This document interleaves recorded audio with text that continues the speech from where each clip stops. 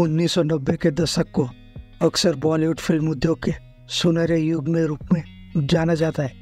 एक ऐसा समय है जब इसमें शानदार और आकर्षक अभिनेत्रियों की बहुतायत थी, जो अपनी बेदाग फिटनेस और निर्विवाद आकर्षण से लाखों लोगों को मंत्रमुग्ध करती रही।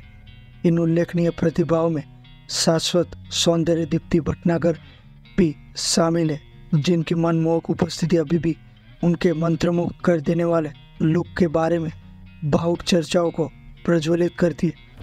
अपनी आँखें और उसकी लुभावनी सुंदरता पर रखे और पहले की तरह मंत्रमुग्ध होने के लिए तैयार हो जाए।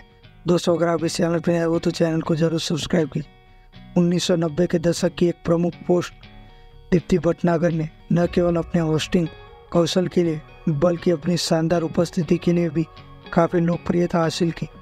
प्रतिष्ठित गीत मेरा लॉन्ग गवाचा में उनकी मंत्रमुग्ध कर देने वाली उपस्थिति ने दर्शकों को मंत्रमुग्ध कर दिया, जिससे उनकी सुंदरता की प्रशंसा होने लगी। आश्चर्यजनक रूप से समय बीतने के बावजूद दीप्ति भटनागर उसी शाश्वत सुंदरता को बिखेरती रही, जो फीका पड़ने से इनकार करती रही, जिससे हर कोई स्थायी आकर्षण से आश्चर्यचकित हो जाता है। दीप्ति भटनागर वास्तव में एक सुंदर महिला है, भले वह 55 वर्ष की है। जब आपकी उन, उनकी तस्वीर देखेंगे तो आप भी हैरान रह जाएगी। दीप्ति भटनागर यात्रा नाम के टीवी शो को होस्ट करके काफ़ी मशहूर हो गए। शो में लोगों ने उनके साधारण कपड़े और आभूषण पसंद आए जहाँ उन्होंने पूरे देश में विभिन्न मंदिरों और धार्मिक स्थानों का दौरा किया। बहुत से लोगों ने उन्हें सचमुच पसंद किया। हाल ही में दीप्ति भटनागर की कुछ नई तस्वीरें सोशल मीडिया पर खूब वायरल हो रही।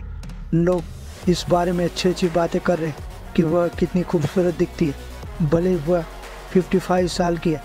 तस्वीरों में उनकी मुस्कान वाकई बहुत प्यारी और सभी को पसंद आ रही। दीप्ति साउथ की कई फ़िल्मों में काम कर चुकी है।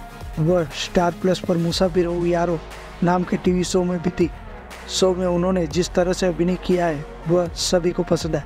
दोस्तों, ऐसी जानकारी पाने के लिए चैनल को ज़रूर सब्सक्राइब